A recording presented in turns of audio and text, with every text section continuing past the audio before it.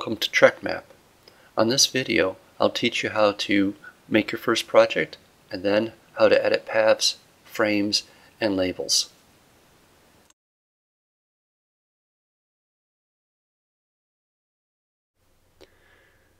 The first time you open TrekMap, it sets up a working area for you.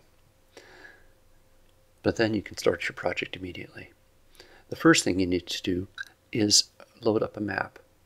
I have an image map on my desktop.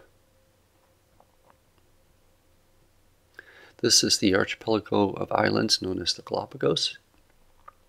The first project is a small trip through here. We click out a path, a nice smooth curve. The second step is to define a frame. This is the view that the camera has. The first frame is where the camera starts, the second one is where it finishes. We can then add labels. There's the start of our trip and the end of our trip. It's such a short video, I'm going to change the default from uh, 30 seconds to 5 seconds. And now we can start generating the video. Except we don't have a name yet. It's going to ask us for a project name first. And then it'll ask us for the name of the video, which could be the same or it could be different. This time I'll call it Galapagos Trip.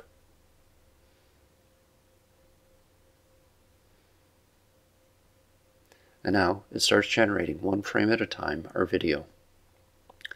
This is what the final product looks like. A nice smooth curve, start to finish. After you've used Trek Map a few times, the uh, opening screen looks like this, listing previous projects. Here I'm going to pick one, a walk from Central Park to um, the main library. I'm going to zoom in first and then add the path. As I click my path, you can see it's not really what I want, but I, I can fine tune and adjust that later on. Let's pan down and also change over to a straight line because the walk continues down 7th Avenue. There's Times Square, and then straight over to the library. Okay, now we can switch over into edit mode. Now, I can grab points and move them around. I can also do other things. I can change some of the characteristics of a point. I can change it into a corner by typing the C key at the same time. There are a few points in here I don't need, so I can highlight them and then type the D key to delete them. Up here in the park, I want to change my curve a little bit.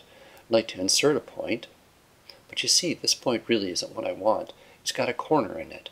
That's because I'm still in my corner uh, straight line mo mode. Change that back to a curve, insert my new point, and when I move it, it's nice and smooth. Now, I can also change the color of my path. Change it to browns, pull it off of this palette. There are many different uh, ways of setting my color. I can pick all sorts of shades.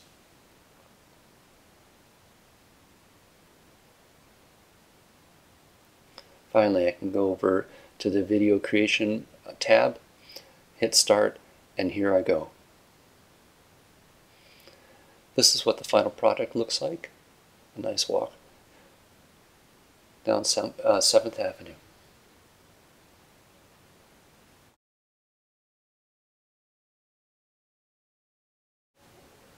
Now we'll look at how to edit a frame. A frame is the camera's viewpoint. We'll start out with this trip, um, a hiking trip through the White Mountains along the Presidential Ridge. Here's our first frame. That's where the camera will start, and that small corner, Pinkham Notch. And that's where it's going to finish, down there in Crawford Notch. Now, if the camera was just to go from start to finish, you would miss a great deal of the hike. Let's take a look at the flow diagram here. That white band is where the camera will pan, both vertically and horizontally. And you can see that the trek itself misses, it misses a lot of the trek. So we're going to have to insert some frames, get it to move around. First off, we can edit a frame clicking on the corner and stretching it. The round circle tells us it's in smooth curve mode. Here we've in, uh, inserted a new frame. The square corner tells us that it's going to be a, um, uh, a corner mode. It's not going to be smoothly um, moving. Now, let's go back to that flow diagram, and you see we've done a lot better. A lot more of our trek is in that white band. We can shift around the timing of the frame by sliding it back and forth on the flow diagram. And we can also insert a new frame, again by hitting the I key. Slide that frame down to right over Mount Washington, tweak it up there a little bit, changed it to a C, a corner, and now the flow diagram looks pretty good. Not quite. Let's see if we can grab that, shift that frame slightly. Know, at the end of the trip, we're right near the bottom of the frame. It'd be nice to add one more um, frame. So we'll insert one, shift it down there, look at the flow diagram, just about right.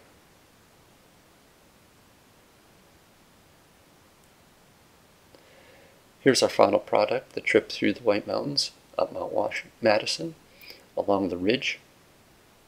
This is at about twice the speed over Mount Washington, Eisenhower, and down to Crawford Notch. Our final topic is how to edit labels. Uh, this is an expedition up Everest in 1953. Um, because of that, I want to pick out kind of an older font. So I'm going to go down here and pick out uh, copper plate.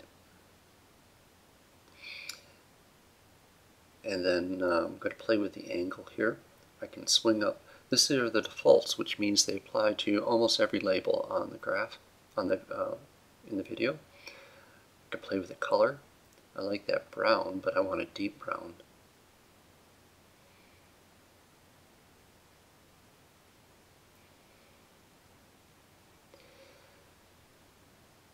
Now I can also uh, make them right or left justified. You see that point? That's the pick point.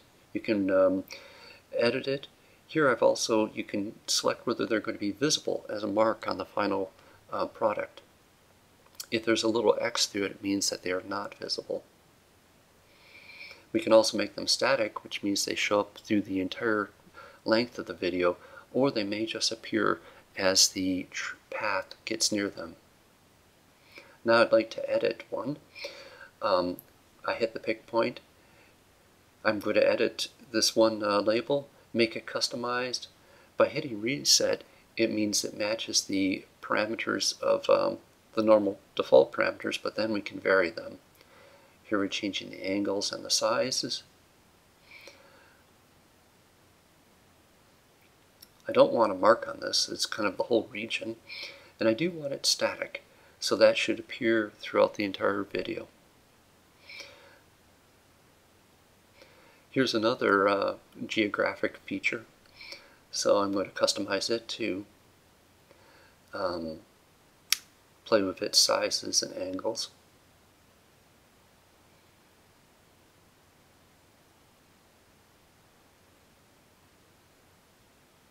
But also it's got this long name that, I'd like it to wrap. So I'm going to put a slash in there instead of just a regular space. So break it into two lines. You can break it into many, many lines by the number of slashes you put in the label. And then I can move it around.